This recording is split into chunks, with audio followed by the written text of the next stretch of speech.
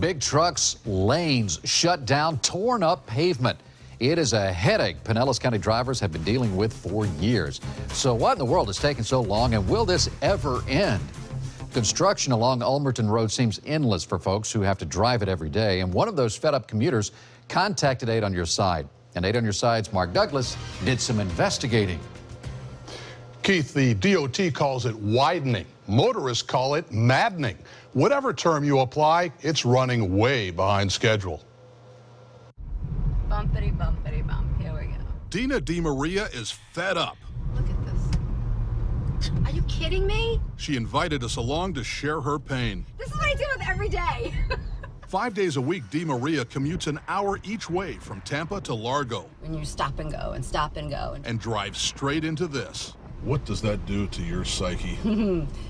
well, when I wrote you on Friday the 13th, I was at the end of my rope. I was very frustrated. And who can blame her? The DOT widening project started back in 2011 and was supposed to finish a year ago. It's like watching paint dry. At DiMaria's request, we asked the DOT to explain the holdup. The answer? 82 days due to moving utilities and other unforeseen issues, 54 holidays, and 160 weather days. I think it's a bunch of lip service. DiMaria is tired of dodging barrels, battling uneven pavement, and navigating ever changing detours with few workers in sight. Have we seen anybody working yet? No, but here's some guys right Look here. Look at that. Let's see what they're doing. One, two, three, four people most of whom are just standing around waiting for the trucks to do something.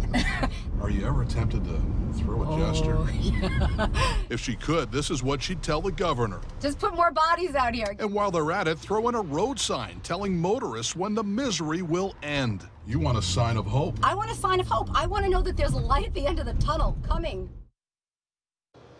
Well, the DOT tells us the contract for that Ulmerton project is supposed to end January 24th, but that doesn't include weather days, holidays, and whatever other kind of days is keeping project managers from finishing that job. Meanwhile, the annoyance factor is ginormous for commuters like Dina, as you just saw. Boy, they, they should hear from her. I think they just did. yeah, it's just, uh, now this is a busy stretch of road, very small, but it's a it's an important corridor. That's right. It's it's only two miles long, this yeah, project, sure. but it's one of the main east-west corridors. In fact, it's a hurricane evacuation route. We pointed that out last summer, so it's a very important stretch of road. All right, Mark, thank you. Hopefully it'll end soon because Let's I know hope. you have to deal with it too.